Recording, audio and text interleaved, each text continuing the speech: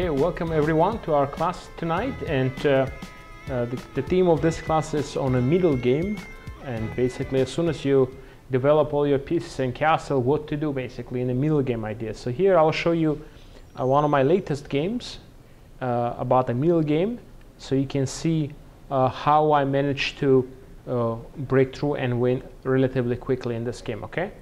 So in this game I'm playing with the white pieces against a pretty strong player, 24, uh, 2400 player. So I played the move d4. And this is a move that I normally play. Uh, my opponent played d5, c4.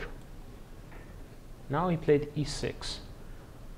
So at the moment, uh, it looks like he's going to play Queen's Gambit declined, but actually it can also switch. It could be something else, something different as well, like if he plays the move c6 later.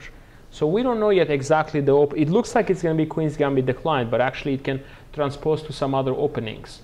So for example, if you play the move knight c3, now he has a couple of options. He can play the move c5.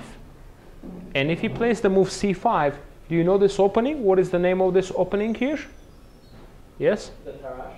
Yes. This is going to be the Tarrasch defense. This is very interesting opening not very uh, uh, popular, but uh, you still white needs to know what to do against it. So that could be a Tarrasch, Tarrasch defense. Um, and also he can also play c6. This is another idea that set up the pyramid and uh, then later try to play f5 to get a stone wall structure. You, you see the structure? This is a basically he's trying to play the stone wall. When you see his pawns are set up like this, this is the stone wall structure. Okay? So there are a couple of options. It looks like it's going to be Queen's Gambit declined, but it could be some other openings. So I was expecting him to play this move, but that's why I went knight f3 first. Knight f3 first. So if he plays c6, I have some additional options such as queen c2, e3, even knight bd2 is playable. Since I haven't developed my knight on c3, I have this option to go to on d2. So my opponent played knight f6, developing his knight, very normal move. So I played knight to c3. And here he has a couple of options here. He can play uh, c6, which is going to be which opening? semi-Slav defense, yes. If he plays bishop e7, this is going to transpose to. So it's also good to, to get familiar, familiar with each opening. So this is Queen's Gambit declined, correct. That's another option. And if he takes on c4? Vienna. Vienna. Vienna. And now we come to what my opponent played here. He played bishop b4. This looks very similar to the Nimzo Indian defense opening, but uh, the name of this opening is a little bit different. Any ideas what might be the opening for this? What is black trying to play here? It's called Ragozin, no? Yes. This is called Ragozin defense. Okay? So it's very interesting. it's pretty sharp, the lines after Ragozin. So white needs to know what to do against it because uh, he's, he's trying to, to be very active, pinning the knight, and also always you have to watch out with ideas knight e4, activating the knight and putting pressure. So I have to, you know, you have, I have to be a little bit careful. So I was a little bit surprised because when I was preparing for my opponent, and we always do before the game, we search to see what opening he plays uh, and try to prepare for the game. And he never played this opening. So this, I, I didn't see any games in the database about him playing like this. So I was expecting actually the semi-Slav, uh, which was his main opening. But uh, he surprised me a little bit with this. So I took my time here a little bit and to figure out what to play to make sure I get a you know, reasonable position out of the opening. So you can play bishop g5 here, or you can play some other moves, but I took. c takes d5. I just want to clarify this uh, situation in the center so my pawn is not hanging and I don't have to worry about what kind of structure we're going to have. Basically, after this, take, we sort of know what type of structure is it. So I have my five pawns here. He has an extra pawn on the queen side, sort of. So it's a called. We're going to get this Carlsbad structure. Okay. So if I go e3, c6, this leads to the, that Carlsbad structure here.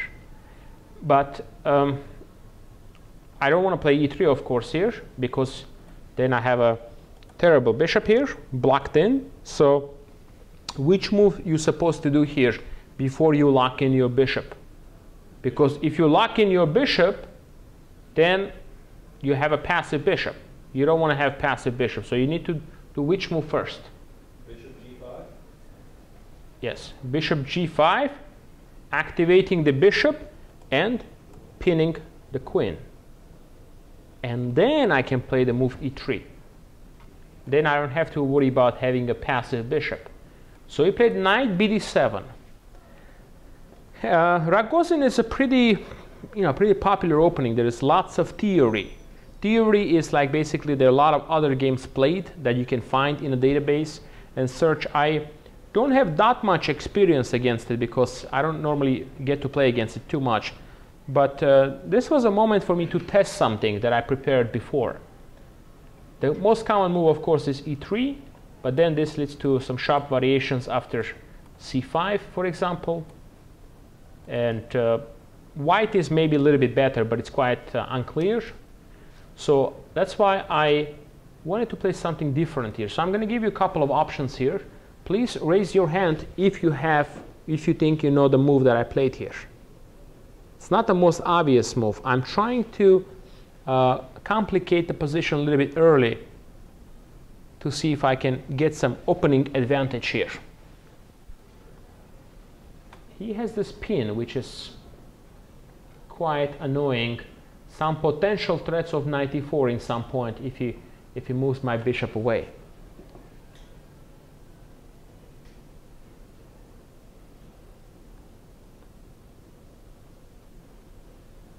Yes? Queen b3, it's a possible move. It's a theoretical move. Queen b3 leads to a very sharp position after c5. Then you take, then he jumps in on a5 with the queen, and it goes on like this. Okay, a3, bishop c3. Okay. Yeah, queen b3 is possible, but there are a lot of moves here. Queen c2 is possible. Rook c1 I've played before. Many different moves here, but which one is the move that I played? Which move I played here, huh? And immediately this was excellent idea because his reaction, he started to think for a very long time and started to play not the best moves because he was not familiar with this idea. Knight d2, of course. Knight d2 is the move that I played, which is uh, not an obvious move here. But immediately this move creates a threat. Do you see the threat? Do you see which threat now I have? Yes? Absolutely. Let's say he's not paying attention.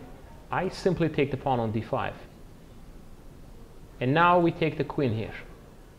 Okay?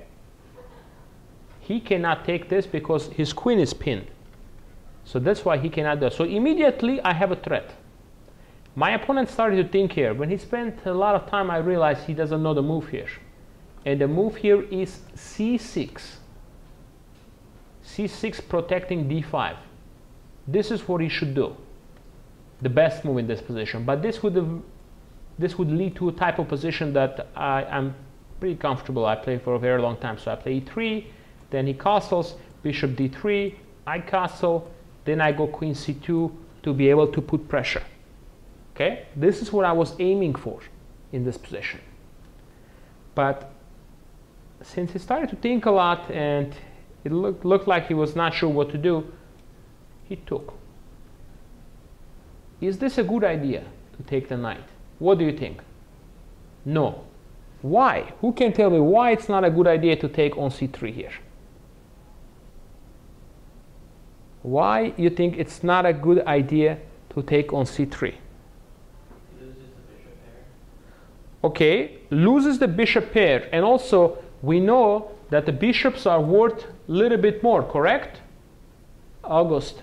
Well, it also brings one of your pawns closer to the center. Very good point. My pawn comes closer to the center. And remember, yeah? So now see, my pawn got a little closer now. I'm a little bit stronger in the center. And most important thing, now I've obtained the pair of the bishops. And the bishops are worth more in the opening. What is the value of the bishop in the early stages of the game? 3.2 or something. Three and a quarter. Three and a quarter. Remember, bishops are worth more. Okay? So that's why you have to try to appreciate your bishops. And here, I didn't even have to play the move a3, which is amazing. I actually would have wasted another move to play a3 to, to get the bishops, but actually he just voluntarily gave me the pair of the bishops. So this is a very nice advantage now for me. Okay, Andre, you have a question? You have a question? No? Okay. So takes. Now, he played the move c5. This is the idea he had. Now, do you see now what is he trying to do after this move? He's trying to get active here. He gave up the pair of the bishops, but he has some ideas. This is a good player. I mean, it's it's a solid, uh, you know, strong player. What is his idea? c4, I'm not sure because c4 will allow me to maybe play e4 and break the center. Okay, so I'm not quite sure if c4 is uh, that big of a threat here. He's trying to do something else. c5 move allowed him, it opened up some doors for him to get more active here. Now, what what uh, move now he has in addition? Yes? Well, Queen A5, your C3 pawn is a little hard to protect. Very good, very good. Now, for example, if I play the move e3, queen a5. Now, not only now he's attacking me, my bishop is becoming more ineffective here because I'm no longer pinning him. See, my bishop is not very active anymore. And this, now I have to worry about protecting this, which is not so easy because I use the queen, then he takes, then he jumps in. He's getting more active now. Okay? So immediately I took my time. This is important because I believe many players would instantly play the move e3 here because thinking, okay, this, this cannot be the, this gotta be the best move here. But if you look a little bit deeper into the position, you will realize that this queen a5 is quite annoying. And maybe you should do something to prevent that move from happening. Queen A4. Absolutely, that's the move that I played. Queen a4. I anticipate his queen a5, so I just put my queen here to control that square. And now he cannot activate his queen there anymore. And if he goes queen b6, that will fail into rook b1. Again, time, tempo. So he castled. Even though I'm a little bit behind, his pieces are not that active to be able to take advantage of the fact that I'm a little bit undeveloped. So I play the move e3, strengthening my center and getting ready to develop my bishop. Now he plays h6, questioning my bishop here.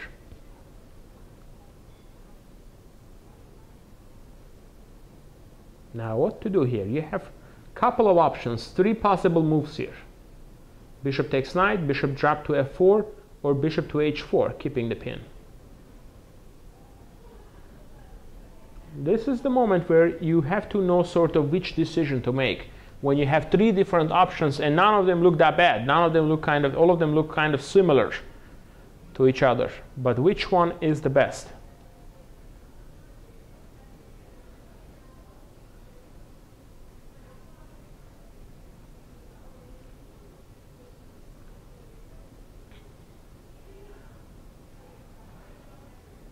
Which move you think normally? What's the best thing to do here in this kind of positions?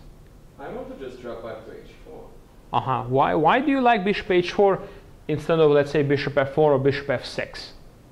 Um, um, Bishop F6 um, doesn't help us too much. It helps him develop a little bit more. And, um, um, after Bishop F4, I'm, although after Bishop F4 we might go Bishop D6 next. Maybe I might change my mind. I don't. Okay. I don't So want to do bishop f6. I know. bishop f6 we don't want to go because I mentioned to you the value of the bishop, right? It's three and a quarter, right? So we don't want to give up the bishop like that easily unless we gain something, you know, structure, we weaken the structure or something, right? So that's the that's the idea here. Yes? Bishop h4 because you're still putting pressure on the knight. Absolutely, yeah. Bishop h4, keeping the pin. When you have bishops, the advantage of having bishops is that you can pin pieces with, right? Bishop f4 is just too soft because not really doing much there, not creating any threats. Bishop d6 is just an attack. He goes rook e8. Nothing really going to happen after that. So that's why we play bishop h4 in order to keep the pin. Okay? So bishop h4 is absolutely, when you have bishops, you want to keep them to pin with, okay? Use the bishops to pin with. Remember, pin it to win it. That's the idea. When you have bishops, then you have better chances to pin opponent pieces. Now, of course, g5 is something we will welcome. Very, we will be very happy if opponent plays g5 because after this, there's going to be too many weaknesses around the king. So we will definitely welcome a move like g5 here, okay? Because it will really weaken his position. He didn't do that. He's a solid player, so play rook e8, developing. Now, another important moment in this game here. It looks like moves are kind of easy to play, but not so clear. Here I have a couple of options here. I need to develop my light square bishop, obviously, in order to castle. But I have too many options. And how to choose which one is the best here again? We have bishop to d3, we have bishop to e2, we even have a bishop b5, ultra aggressive move here. But which one is the best to play? Can you figure out out of these three options? But you also have to explain your thoughts about why you're choosing uh, one over another because they they look pretty good, all three of them. All three of them look pretty good. Okay, let's give you a chance, Andre. What do you think is the move here? Bishop b5 because you're holding a pin on the knight and rook. Yes, bishop b5, that's a possibility. Now you have a pin. Um, this move looks very aggressive in the beginning, but once you find a very strong move for black here, you realize perhaps the bishop here is going to be a little bit misplaced, you know, because we don't really want to take the knight because then you lose your bishop advantage. This move is good unless black plays this move. If you find the correct move for black, then this move is not going to be as powerful. Let's flip the board for a second here and imagine you are playing this position with the black pieces here. And you are pinned now. Now it's like a cross pin. One bishop is pinning this way, h4, another one on b5. So you're very active here. But there is one move here. One move here.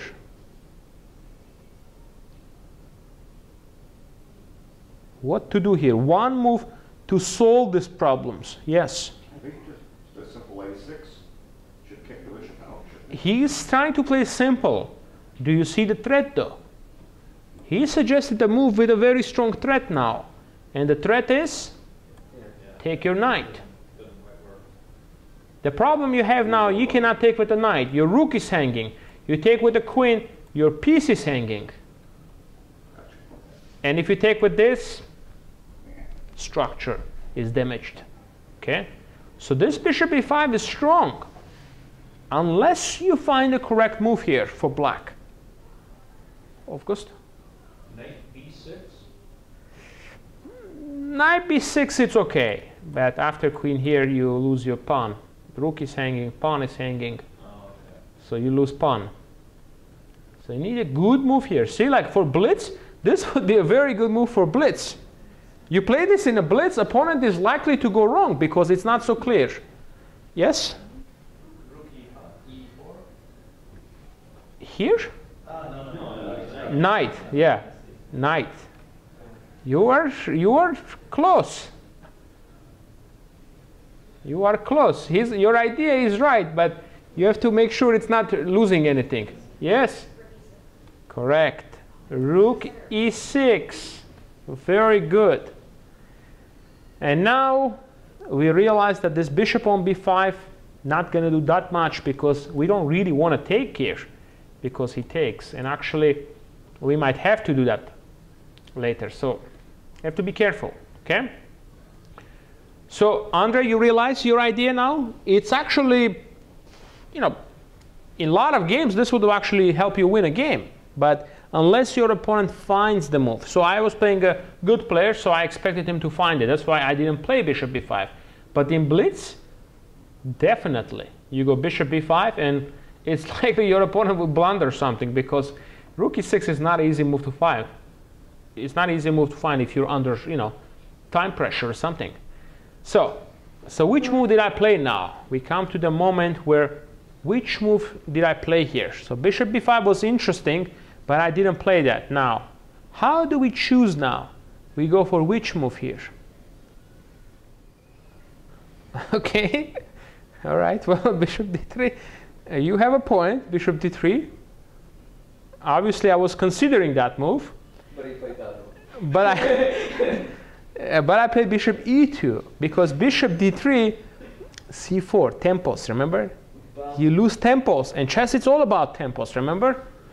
See, you said something very fast, but what was your idea after this? the idea is to go to c2 and then eventually prepare prepare e4. Okay, Uh, I, it's very concrete here, so it's very fast, you know? Very concrete here. Problem is with the bishop on C2. You now block your queen back home. Your queen cannot get back home here. That's the problem. See? And if you go bishop b1 to play the clever queen c2 idea, unfortunately now this, this guy is a little bit trapped here. And you don't really have a threat. The knight is covering the square. You don't want to play with the rook like this. Okay? Okay. So, uh, yes? Um, rook b1. Rook b1 is also a possible move to put pressure here. But here I want to develop the bishop so I can castle. Remember, step number three? So you got to get the king safety, right? So this kind of moves you play it after you get your bishop out and you castle. You cannot think about that when the king is in the middle of the board because then your king will get caught in the middle of the uh, attack and uh, or some fireworks, so you'll be in trouble. So you go bishop e2 first, okay? Let's flip the board now. So you have it from the white's perspective here. So now he played, um, he spent a lot of time here, and I could see that he wasn't very comfortable in his position. So every move was like a challenge for him. Every move was like 10 minutes thing, 15 minute thing, 20 minute thing. So when opponent does that, that means he's not very comfortable. And I can understand why, because in this position it's not easy to make moves. It's very hard to know which move is the right move here. So he plays the move c4. So he locked in. That tells us that I made the right decision because he wants to play c4 anyway. So if he played c4 with the bishop on e2, he was definitely going to play this move when I put the bishop on d3, gaining an important tempo on my bishop. So, I so he played here now. What's the next move for white? Castle. Castle. Safety of the king, remember, is your number one priority. I always repeat this, you know, but it's very, very important that you castle before you try to do any kind of tactical ideas or anything. So castle, safety of the king always comes as your number one priority, okay? Now he played the move a6. He is threatening to play b5 and attack my queen, okay? He wants to play b5, attack my queen. Now I need to make a good move here. This is a middle game now for you, right here. After I castle, middle game. You will see in just a couple of moves I managed to win this game. I mean, mostly because he blundered, but still, finding the plan was important here. Now, he is threatening to play b5, attacking your queen. We know that's going to happen here. We're anticipating that. What are you supposed to do here, Mike? Rook A to B1, that way if he plays B5, we can just take it. Wait, no, no. Mike uh, suggested rook a b1, but after b5, you will take, yeah? Take. Yes. The knight is x. Knight b6, but Mike, Mike's got this, no? Take. Oh, wait. But then you take the rook. And then we take the knight. You saw that, Mike? Wait.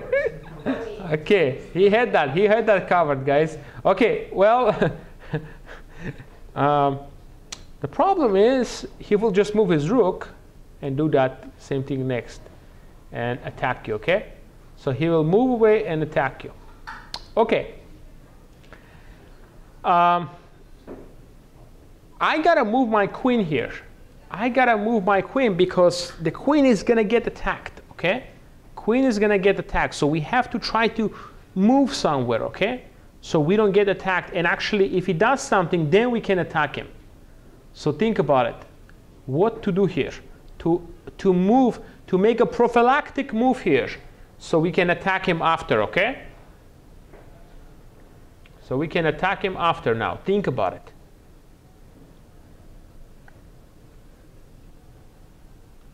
What Yes. about just queen c2?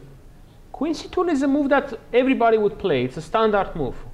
But I want more, you know. Don't just play standard like most people would do. Then he plays b5, then he goes bishop b7. Well, You know. I guess I had a question on kind of like Mike's idea, but what if I played rook f to b1, then rook to b8, then queen c2, then b5, then a4? Um, hmm. Okay, you have a point. So this move, you will go here.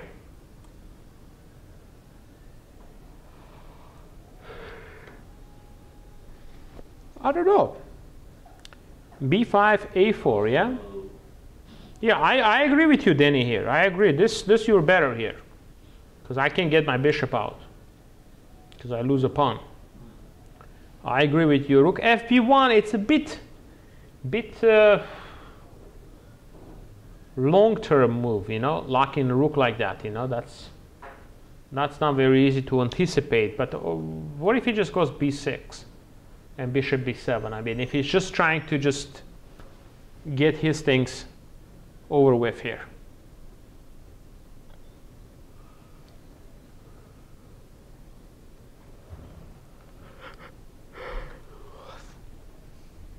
The small part of me wants to play bishop f3, but very small part.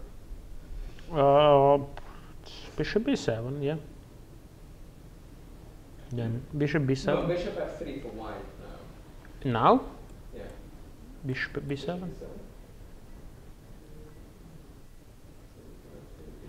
Uh, maybe you can take, yeah? But yeah, that's Just move away. It's funny, he cannot take any of the pawns. you don't see this too often. If he takes with this guy, he drops the bishop this way. He takes this way, he drops this way. Very interesting, very interesting, yeah.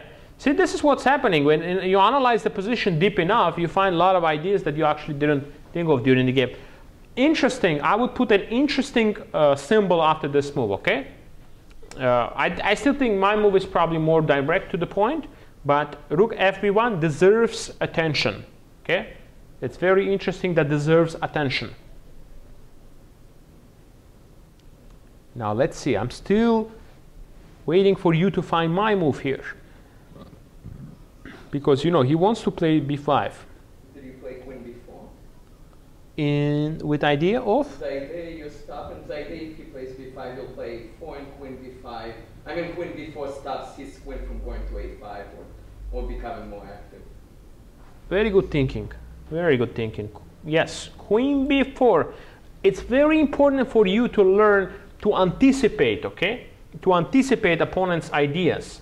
So here we see he's trying to play b5. We go queen b4, we move away. So if he plays b5, we're going to get in with a4 and put pressure on it. Got it?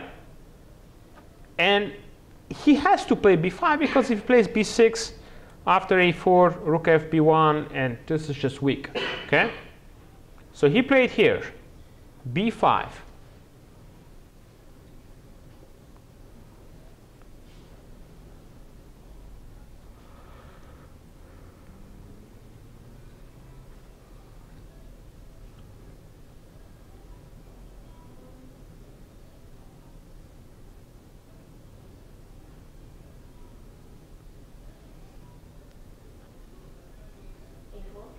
Absolutely a4. When you choose a plan, you stick with it, remember? Do you guys do that? In chess, you always do that. You choose a plan, you stay with it. Now, now something, uh, you know, something little strange happened here. My opponent made a move, after which I responded with the move and he resigned. Would you ever guess that this game will be over in one move? it was a 16 move miniature. One of the shortest victories I had in a while. So he made a move thinking that this is interesting idea, he's going to get some momentum. But actually it was a pawn blunder after which he just didn't even want to continue. Did he play queen b6? No, that's too obvious. He just takes. no, the queen b6, that's too obvious. No, he. Okay, he could have just taken here and accepted that he is worse, but we're still fighting here, okay? So he didn't do that. He didn't do that, so he played the move. You play A5. He played a5, yes. Good job, August. now, but why, why is this such a bad move here? Who can see, who can calculate deeply here and find the victorious move for white? Don't rush, think. Again, 24-20 FIDE player missed it. So it means it's little subtle, you know? It's little subtle, you know, that he missed it.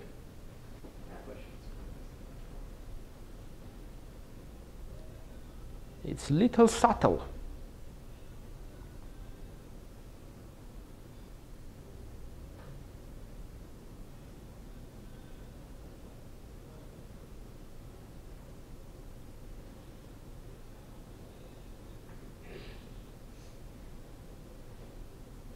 Oh, uh, so after queen b5, then rook b8, then you play bishop f6. Excellent thinking.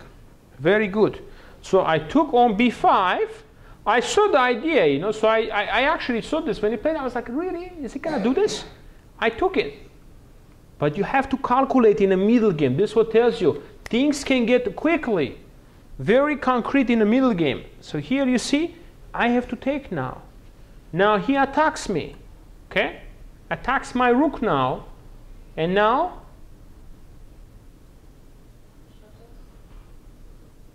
Bishop f6, you got it. Yes. Now, he takes back with the knight. Thank you very much for the rook. We're winning this. If he takes back with the queen, we take the pawn. And we take another pawn.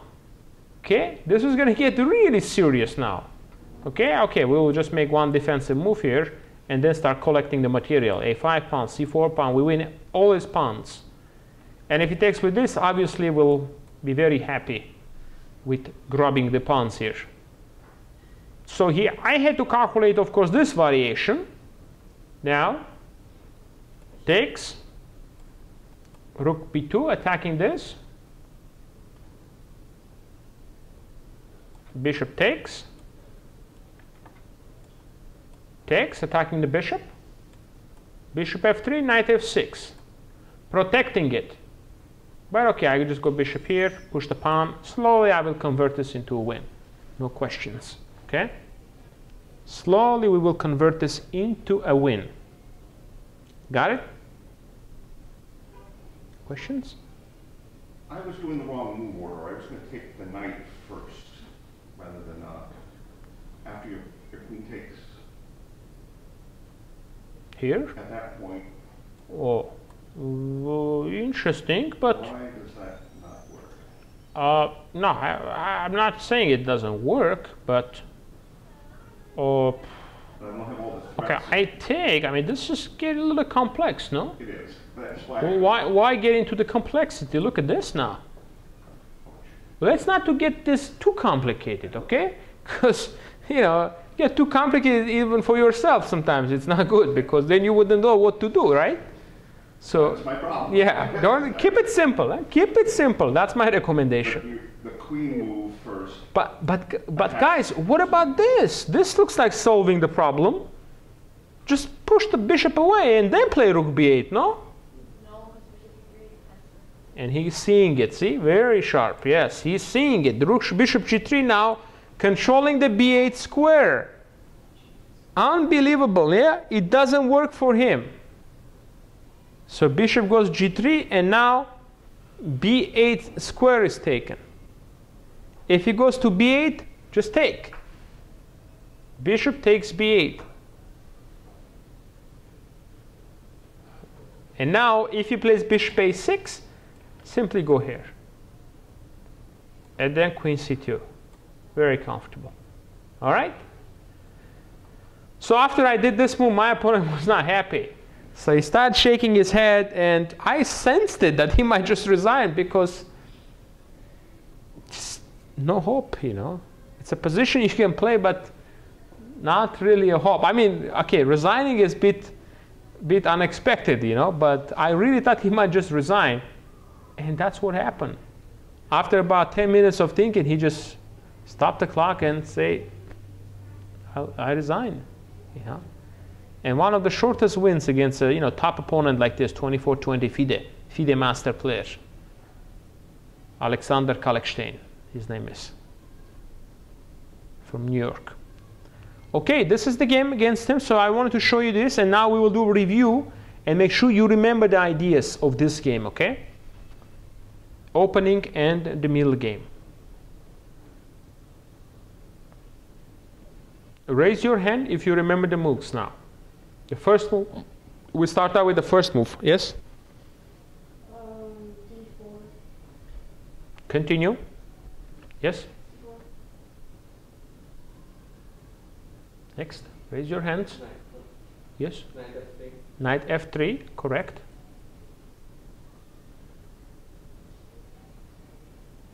Yes? Many different options. He played this. What is the name of this opening, everyone? Everyone in this room should know this opening. Huh? Ragozin. Ragozin defense, okay? And now you also learned you also learned how to play against Ragozin. This was a combination of middle game and learning another opening for you. How to deal with Ragozin defense. And this is a very good way of dealing it actually. Very, very good way of dealing against Ragozin because opponents are not going to be very familiar with it. Okay? So, what's the move that I play here? To simplify the position and make sure not too many pawns are hanging. And the structure is, uh, structure is fixed. Of course. Yes? Continue now. You don't want the bishop to lock in, right? What you going to do first? Bishop g5. Develop your bishop, remember. Develop first, okay? Now he goes here, continue. Thinking, Oh, thinking. wait, yeah, Knight d2. Uh, explain the reason of this move. Why is this a decent move and interesting suggestion? Uh, because you're threatening to take on d5, and you're getting out of the gens. Yeah, absolutely. And now immediately creating a threat of knight takes d5. Okay? Thank you for the pawn, right? That's the idea. He should play c6 here. So he didn't know the line, so he opted for something improvising. Take, take. And now this is the move. Who would have find the move that I played here? What do you think in a real game? Would you have anticipated his idea after c5? I would have considered it, but I probably still would have played E3. Yeah, very, very much it's likely that bishop e3 is the natural move. But now you know it. Now you add another idea to your knowledge, okay, here today. That not always you play the most standard moves in chess. And here the correct move is, huh?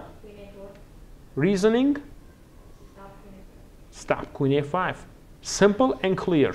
Stop opponent from getting activity, activities. Castle. Now, light square bishop needs to be developed. It cannot be developed with the pawn on e2. So what are we going to do in order to achieve that? h6, questioning your bishop. Yes? Now move the bishop to H4. Keep the pin. Keep the pin, okay? Don't let the pawn push to deflect you from there, okay? Keep the pin. When you have bishops, use your bishops to pin opponent pieces. Knights and rooks especially could get pinned.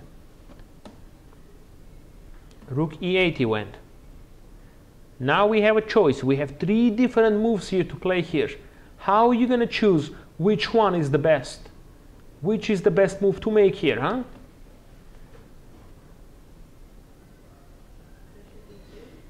Huh?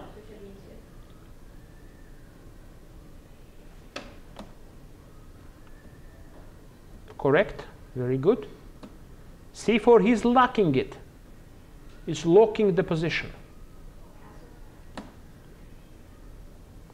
Threatening to play b5.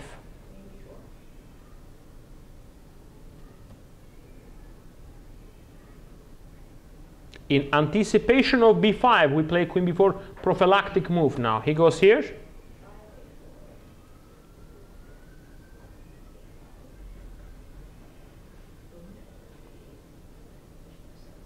Raise your hands, please. If you know the move, raise your hands. So now we opponent b5 pawn is weak, so we want to try to put pressure on, correct? And how are we going to do that? A4. Absolutely. He plays a5. Now, blunder. But even if he didn't blunder, his position is not very good, actually, because I will be creating a weakness. Of course, the blunder helped me to win quickly. But, uh, yeah, he should have played something like rook b8, perhaps. He's worse, but, yeah. So, or take rook a4. White is still better. So he played the move a5 and Queen takes b5. queen takes b5, August. Now he played rook b8, attack, he resigned. But if he plays rook b8, now what is the move? Queen A5. Not yet, not yet. a5 is protected by the queen. Okay? So we have to shake up the defense here, shake up the defense. Bishop takes f6. And that's will do that. That's will do that. Bishop f6 will achieve that because now so many ways to recapture, but he cannot do anything. All right? Okay. Uh, since we are on this topic here, I want to introduce you to a plan on a middle game, another additional idea for you to learn uh, since we are on this similar position here. So if he plays c6, we talk about it that I want everybody to understand this structure when you have versus this, this is called? Carlsbad structure. Okay? Remember, everybody understand? Carlsbad structure. Now, I will just make some moves. Uh, the moves are not uh, particularly important. I just want to show you the plan, okay? So you sort of get a position like this. And here, in a Carlsbad structure, if you studied uh, games from the tournament in Carlsbad, very famous tournament in Carlsbad, you can look it up. They played a lot of these plans in that tournament. I think that's why the came, name comes from Carlsbad. What is the plan here for white? You probably have to be a d4 player to know that. Or if you studied some of the masterpieces from, you know, Kasparov, Karpov, you know, all these big champion games, you know, Petrosyan, Botvinnik, you would remember this. So what is the plan here uh, for white to achieve an advantage and create weaknesses? I know this because I've been playing this opening since I was five, six years old. But uh, raise your hands if you know the plan here for white. The most popular and thematic plan in the Carlsbad system. Yes? Uh, minority attack, h3 followed by b4 followed by b5. Close. Close, but your first move you have to do something else than a3. You want to play rook b1 first? Of course. Okay. yes, the plan is you start in these positions always rook a. I'll tell you why. If you play a3, right? I make a move. Let's say you play b4, correct? I play this move. Can you play b5? No, so the rook will come there eventually, but then you'll play a4 and then you'll play. But you understand what happened, right? You played a3 and then you played a4. Losing a tempo, everyone. And remember, chess, it's all about tempos. Okay? So, that's why in a Carlsbad structure, for you, remember, you start with rook a b1 first. Okay? Rook a b1 first. And now, opponent, for example, plays a5. He sees that you're going to play b4. He's trying to anticipate your idea with b4. What are you going to do to continue with the Carlsbad plan here? Uh, Carlsbad structure, sorry. The idea, again, remember this name. Structure is Carlsbad.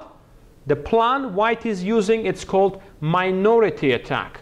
Minority attacking the majority. And when you finish with the attack, one way or another, black will have a weakness. If he's not careful, he can even have two weaknesses. And you will see now he doesn't have weaknesses. But after you're done with the minority attack, he will at least have one weakness. A5 is the correct move here for black to prevent you from playing b4. How are you going to continue with the plan here? Yes? Now you can play A3 because there's no A6. Absolutely, you play a3 now. Now he goes knight g6, for example. We go b4. Take, take. Rook c8. b5. Now, minority is completed. Minority finished against the majority now. Do you see the weakness now? Do you see the weak pawn in the, for the black in this position? The backwards pawn on C6. Backward pawn, this is called in chess. When the pawn is not protected by another pawn and it's fixed, we call that backwards pawn, right? So that's a weak pawn right there. Very weak pawn now, and uh, this will be a clear advantage for white. So see, in this position, it looks absolutely fine for black, this position. Now, five moves later, he's got a backward pawn, and he's struggling. And the way you deal with this, you go knight a4. You control that square. Make sure he cannot push the backward pawn. And then you put the rook on c1 to pile up more pressure on c6. Not to mention the idea of knight b6 here comes in. Okay? So it's a very, very strong idea here for white. I mentioned that if he's not careful, he can even have two weaknesses. Remember? Let me explain to you how. Like, let's say it's not playable move, right? Somebody takes. Now you take back with the rook. Look at this now. How many weaknesses he has? Two. He's got two weaknesses. The pawn on b7 is weak, the pawn on d5. So he has two weaknesses here. And now it will be much easier for you to win this game because of two weaknesses. So another idea here, he has to play a5. If he doesn't play, for example, does something else, you play the move b4.